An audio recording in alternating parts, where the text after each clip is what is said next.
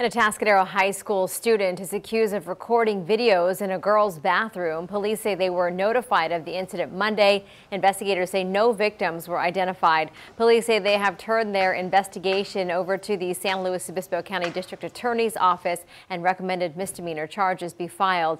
The DA's office will decide what, if any, charges to file. The Atascadero Unified School District says the student is no longer attending the high school.